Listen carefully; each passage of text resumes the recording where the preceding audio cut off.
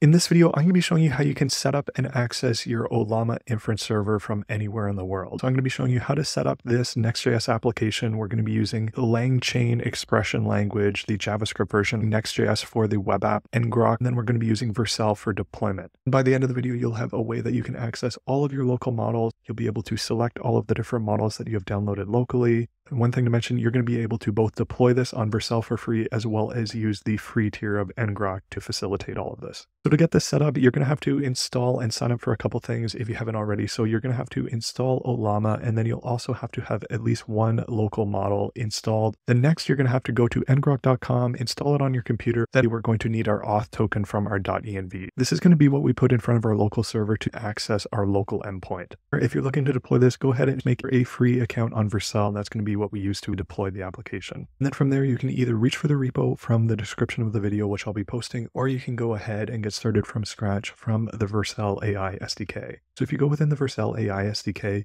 you can go within examples. So the example page is a great place to start off an application. There's a ton of different examples in here. So we can just go within the next LangChain example. And from there, you can go ahead and npx create next app within your VS Code. But we're going to be working out of two files for our web app. So we're going to be working out of the route.ts, which is in our API slash chat route. And then we're going to be working within the page.tsx. So we're just going to have one page for our application here. So the first thing that I wanted to do is run through the backend. What we're going to do is we're going to import some necessary modules here. So if you pull down the repo from my GitHub repository, you can just go ahead and npm install everything and you'll be able to set all of this up. So we're going to declare that we're going to specify the runtime to be edge for when we deploy this to Vercel. So from there, we're just going to set up our post request and we're going to destructure a few different variables. So we're going to be sending across the messages array. We're going to be sending across our Ollama URL, and then we're going to be sending across the selected model that we have. And then from there, we're going to be passing in the base URL to Ollama. And instead of just passing in our local host, this is going to be where we pass in the server that's established from ngrok.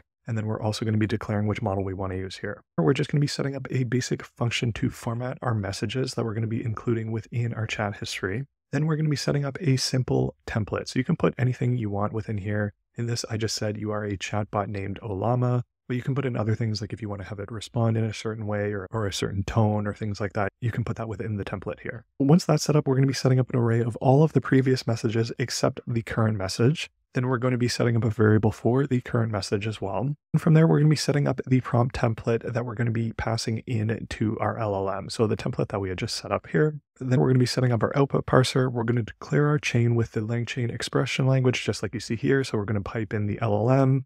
We're going to pipe in the output parser. And then this is going to be where we create our stream. So we're going to be passing in the formatted previous messages that we had, and then we're also going to be passing in the current message for our input.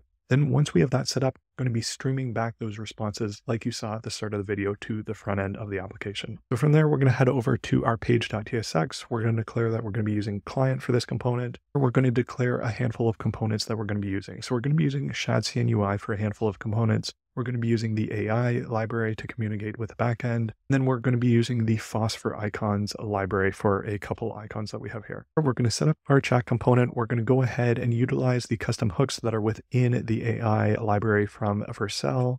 And then we're going to set up some of our own hooks. These are primarily for what we send to the backend. So for our Ollama URL, as well as the selected model. And we're going to create a couple handlers. So the first handler that we have is going to be how we handle the change of the URL. So this is going to be how you can go ahead and set up and put in your URL if you want to change it within the web interface. So you have that link at the top and then you can paste in your ngrok link directly within there. And it's also set up with local storage so you don't have to continually put it in. Then from there, we're going to have a handler simply to change our model. Next, we're going to set up a simple function to toggle the visibility of that input where you can put in your ngrok URL. So while we have the ability to put in the input manually if we'd like, it's also going to go ahead and parse a query parameter on the URL and go ahead and create that server. So once we actually declare our ngrok server, we're going to have some links that it will output in the console where we can go ahead and just click one of those links and it will have that key from ngrok that it will pass within here within the constructed URL and then we don't need to go ahead and manually put in anything. We'll just be able to click that link and it will look to that query parameter.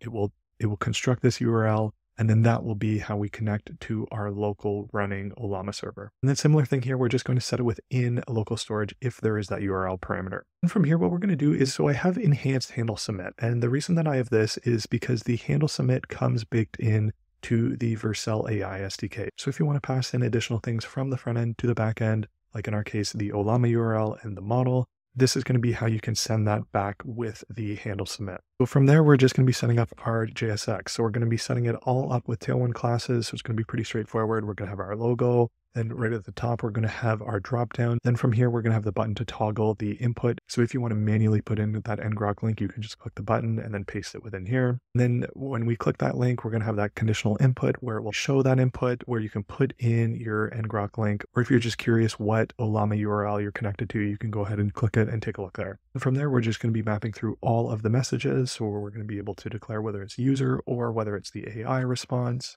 And then we're just going to have our footer, which is going to have our input for our message as well as the button to submit. From there, we're going to be setting up a simple Express server. So what we're going to do is we're going to go ahead, import Express ngrok n.env. And the reason that we're using Express is to keep our application persistent. So we're going to go ahead and declare a very basic Express application. You can set this really to whatever port that you want. So once you deploy your Next.js application to Vercel, you can come in here and you can put your deployment URL here or in my case, I just put the subdomain for my Vercel application on my domain. So mm-hmm. once we have that set up, we're just going to be setting up a basic Express server. But the main piece to pay attention to is going to be this ngrok portion. So what we're doing here is we're setting up to forward our port 11434, which is the default port that's set up on your computer when you're running Ollama. And then we're also going to be passing in our ngrok auth token. So to get your auth token, you can just head on over to your auth token and you can put it within your .env here. So once we have that, we're going to use a little bit of regex to parse that first portion of our URL.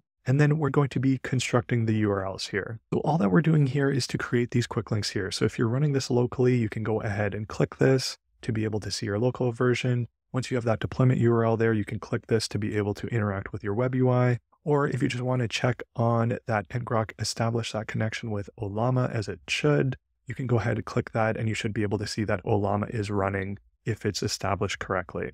So that's pretty much it. To get this all started, all you have to do is you can go ahead and node index.js to get this all started once you've installed all of the dependencies. And then similarly, if you want to deploy this to Vercel, you can go ahead Vercel prod and deploy it.